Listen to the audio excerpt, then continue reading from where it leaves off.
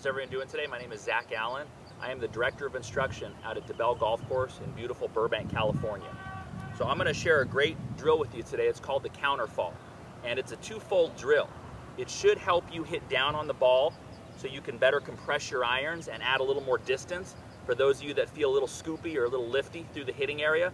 But also, it's a, it's a great drill that'll teach you how to gain more power by being able to develop more lag in your shoulders. Okay, lag, all lag means is follow. And typically we talk about club head lag, um, you know, uh, maintaining the angle, but you can actually have lag in your shoulders too. And this drill is gonna show you how to do that. So what you could do is next time you get out to the driving range, take a small or medium bucket, put it back by your right foot. And what I would start to feel first off is just take a nice little short iron. You wanna start to feel your body working this way more in the downswing, okay? So you can see here as I'm starting down, I'm taking my left knee and my left shoulder and I'm moving them back to the ball all at once. And at first it probably doesn't look that strange in the camera, but as you do it, it's gonna feel like you're the leaning tower of Pisa as you start your downswing. Especially for those of you that either go this way on your downswing or for those of you that spin your shoulders this way. This is gonna feel like a very different golf position.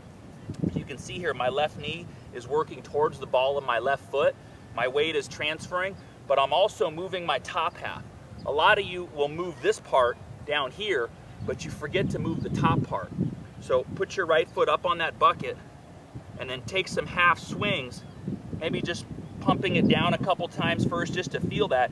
And you can feel right away, this golf club is gonna drive that ball straight into the ground and I'm gonna get some good distance out of it. So half swing,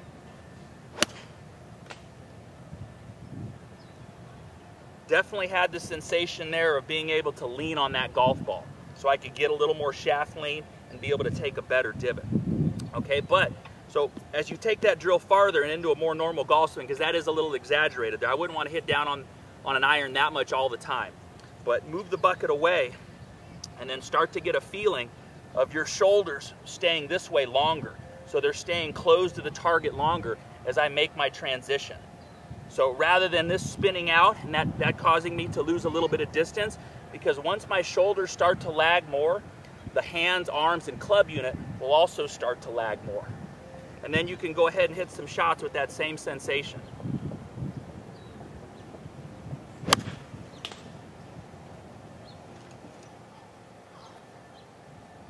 So I hope both of those thoughts give you a little something to work on and help improve your golf game. So here we have the before picture of a, a, uh, student of mine who is a single digit handicap. He's about an 8, but that was struggling with this same issue. Um, so this was um, his initial transition, and you could see here how he's failing to close that gap slightly between his left side and that red line. Um, so as he gets there through the hitting area, he is definitely hanging back a little bit. He was um, struggling with uh, getting good compression on his irons and he was also pulling the ball slightly at this time. So we had him working on that same drill. The only difference was he was using an impact bag instead of a um, uh, instead of a range bucket. Either one will work just fine. But you could see how much more aggressive his left side was started to become as he as he initiated his downswing.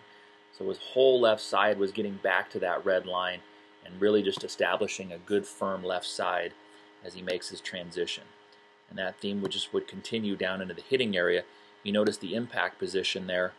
He is much more stacked with that entire left side from his foot to his left knee to his left hip to his left shoulder rather than this one there's just a little bit of a uh, of a hang back move you can see the left side just angling back slightly as he is um, as he's striking this golf ball um, from there that theme would continue on into the finish we wouldn't really see just that that um, positive finish with all the momentum and all the energy going towards the target like we see more so here.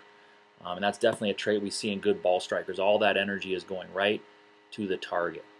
This was a normal golf swing after doing the drill. Uh, he probably did it for about five to eight minutes.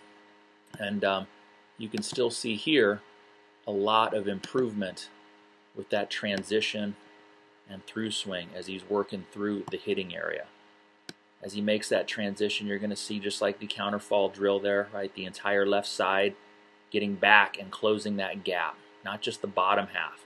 that entire left side, getting up, up, up against that left, that red wall there. And from there, just a much, much better position to hit through that golf ball. Nice firm left side, everything driving up and through and into a great balanced finish right over his left side. So from that point, he was able to start the ball more online. He didn't pull it anymore, and he probably gained at least a club in distance because the ball wasn't going up, it was going out much more so.